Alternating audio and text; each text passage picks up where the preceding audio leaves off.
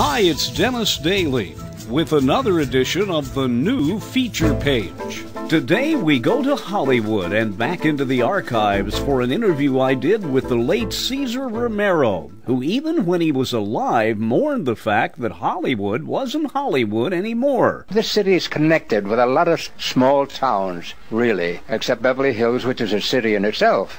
In, the, in, in this town, years ago, I, I, can't, I can't begin to tell you the difference. There are no fans around here that you see any place. You know, even the photographers.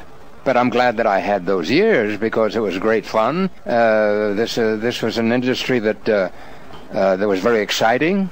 Hollywood is no longer the capital, uh, the motion picture capital of the world. And from Hollywood, Cesar Romero brought us some great memories. Listen for the feature page every day right here on YouTube.